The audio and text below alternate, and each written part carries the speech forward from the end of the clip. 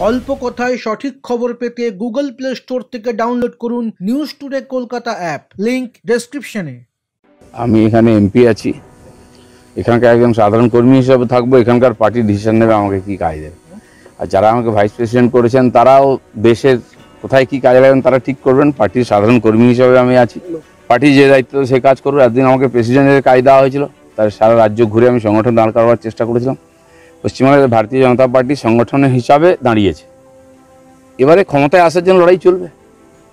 রাজ্য সভাপতি হিসেবে আপনার এই মর্নিং ওয়াক খুব বিখ্যাত হয়েছিল। আজকের মর্নিং ওয়াকটা কি একটু অন্যরকম? মানে অন্যরকম কিছু না একই রকমই আছে। আজকে একটু দেরিতে এসেছি বৃষ্টি চলছিল বলে। তো আমার জীবন সাধারণভাবে যেটা থাকে ওটা আমার সাধারণই থাকে। পার্টির দায়িত্ব ডিউটি হিসেবে চেঞ্জ হয়ই হয়। সেই অনুযায়ী কিছু আমরা পরিবর্তন করি কিন্তু আমার একটা নিজস্ব জীবন পদ্ধতি লাইফস্টাইল আছে। আমি সকালবেলা উঠি মর্নিং ওয়াক করি কোথাও এক্সারসাইজ করি। আর সবাইকে নিয়েই হাঁটতে বেরোই যেখানেই যাই।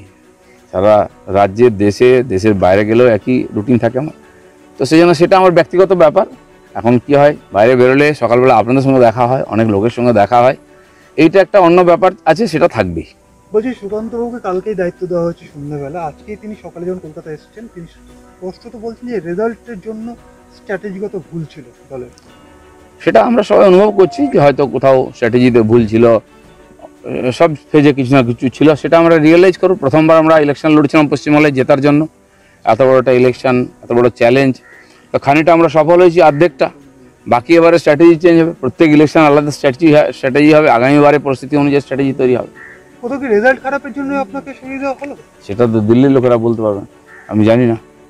আপনার নতুন দায়িত্ব পাওয়ার জন্য বাবুল সুপ্রিয় আপনাকে অভিনন্দন জানিস। একই কটাক্ষ করেছেন আপনার আপনার বর্ণ পরিচয় করা দরকার কারণ আপনি যে শব্দটা লিখেছেন সেখানে যে ভারতীয় রাজ্য সভাপতি এটা নিয়ে আমি কটাক্ষ করছি আমি জানি না কে লিখেছে। ভারতীয় জনতা পার্টির রাজ্য কি বলে ভা- সহসভাপতি সর্বভারতীয় লেখা আছে। ভালো করে পড়ে করে দেখুন উনি হয়তো অন্য কারও লেখা পড়েছেন।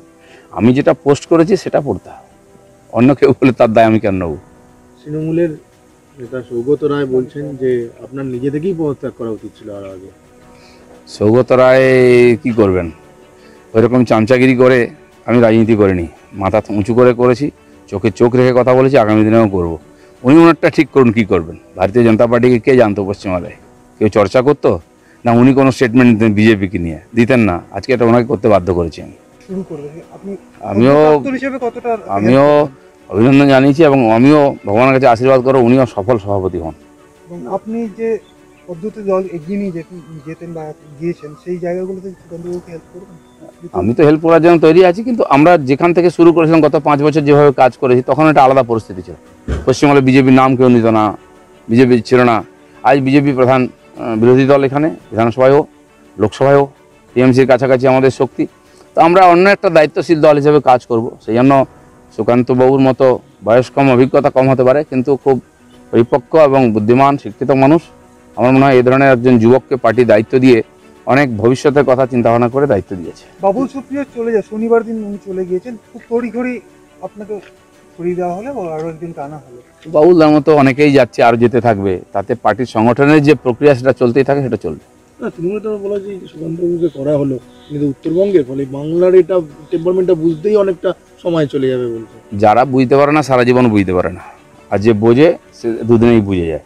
তো সেই জন্য দক্ষিণ বাংলা থেকে আমাদের বিধানসভার মাননীয় বিরোধী নেতা হয়েছেন, আর উত্তরবঙ্গ থেকে বিজেপির প্রদেশ সভাপতি হয়েছেন। এই যে দুজনের সম্মিলিত প্রয়াস, বাকি আমরা সবাই তাদের সঙ্গে আছি। এবার দেখবে উত্তর বাংলার মানুষের যে অভিযোগ ছিল, এতদিন ধরে সেগুলো এক একটা জিনিস আমরা পুরো করছি। প্রশাসনিক হিসাবে কেন্দ্র সরকার তাদের কাছে সুবিধা পৌঁছে দিচ্ছে। রাস্তাঘাট, যাতায়াত, অন্যান্য উন্নয়ন মেডিকেল কলেজ শিক্ষা প্রতিষ্ঠান থেকে আরম্ভ করে সেগুলোর জন্য সহযোগিতা করছেন। এইমস কেন্দ্র সরকার ওখানে করতে চেয়েছিল, মমতা ব্যানার্জি জমি দেননি।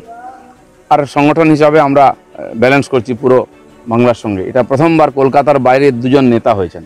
বাকি কলকাতা কেন্দ্রিক নেতা ছিল, তাহলে কলকাতার উন্নয়ন হতো, বাংলার উন্নয়ন হয়নি। আমার মনে হয় এবারে সামগ্রিক বিকাশ হবে।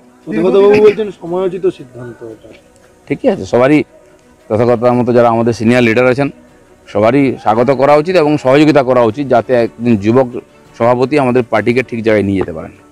না এই বিজেপির এক একজন যে দল বদল করেছে কিছুজন বেসুরো আছে না আপনার ব্যক্তিগতভাবে মনে হয় কি এই যে সরিয়ে দেওয়াটা আপনি কীভাবে বিশ্লেষণ করবেন?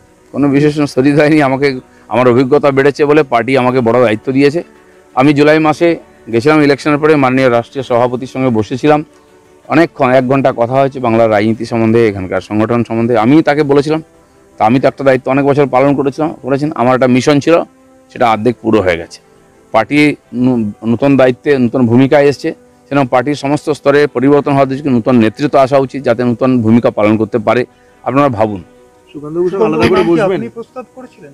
বা আপনি আলাদা করে কয়েকজনের নাম ছিল সুকান্ত দার নামও ছিল তার মধ্যে যুবকদের মধ্যে। আমি বলেছিলাম যে এই লোক আছেন আমাদের কাছে যারা সামলাতে পারেন।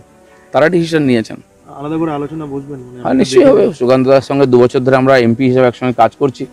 অনেকবার বসেছি কথাবার্তা হয়েছে। উনি যেরম যেরম চাইবেন সেরম আমি সহযোগিতা করব।